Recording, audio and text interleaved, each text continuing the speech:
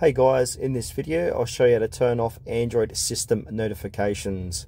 Please make sure to watch this video to the very end so you don't miss out on important information and to not make any mistakes. In saying that, let's just jump straight to the video. Alright guys, open up your settings app on your mobile device. You can either search for notifications or scroll down a bit and click onto notifications. And then on the top section you want to click onto app notifications. And you'll come to this page here and then what you want to do is click on the three dots near app notifications and then click on where it says show system apps.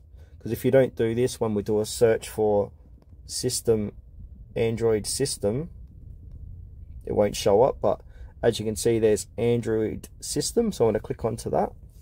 So Android doesn't allow you to turn off the notifications. It's grayed out. But what you can do, you can put it on silent and you can change your notification types. So you can do badge not allowed, lock screen not allowed.